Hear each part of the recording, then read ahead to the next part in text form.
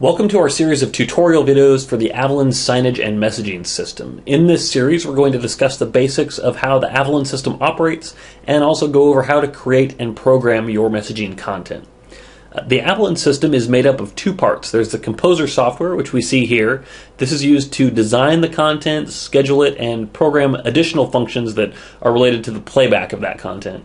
The other part is the Aavelin player system, which is not pictured here. This is often going to be located in an equipment closet or near the display or displays.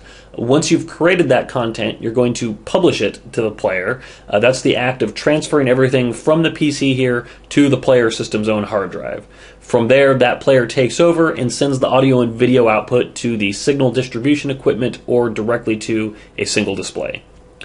A little terminology for those of you that may be familiar with PowerPoint. Uh, in PowerPoint, you create a presentation that has a series of slides in it. In Composer, we're going to create a project that has a series of pages in it, as well as other types of content as well. So, presentation is a project, slide is a page. This is relevant just simply because the buttons that we have in the software are going to reference projects and pages specifically. So, it's good to know exactly what those are. Let's get started by creating a new project. We're going to simply click on the New Project button, and we're presented with a dialog that's going to ask us a short series of questions. Most, most of these questions are going to be determined by the type of display or displays that are being used here. So let's give the project an appropriate name. And then we're going to select uh, the type of video connection that we're going to be using, either composite, this also applies to an S-video connection for television broadcast, or the VGA or DVI connector for an LCD or plasma display if we're going for a digital signage application. Uh, if we select composite, you simply click on the finish button and that's it. There are no other settings that have to be configured. Uh, if we select digital signage, which we'll do here, we can then click on the next button and proceed to the next question. So here we need to choose the aspect ratio that we're creating the project at. For digital signage, this is typically going to be 16 by 9, but 4 by 3 is an option as well. So we'll click on Next. And now we have to choose how the displays are hung on the wall, either portrait or landscape. If you do choose portrait, you have an option on whether the displays have been rotated to the left or right uh, when they were hung.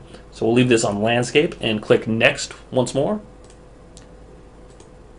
And then here we need to select the resolution for the project. Now, larger numbers typically translate to more clarity on screen, so those larger resolutions are usually more desirable. The limiting factor here again is going to be the display itself. So you will need to reference the display's owner's manual and consult the specifications section uh, for the preferred resolution for the connect- connector being used, whether that is VGA or DVI. There will be a preferred or an ideal resolution. So we'll just select the option closest to that from this list that uh, matches that documented resolution. Let's say 1280 by 720, which is a 720p resolution.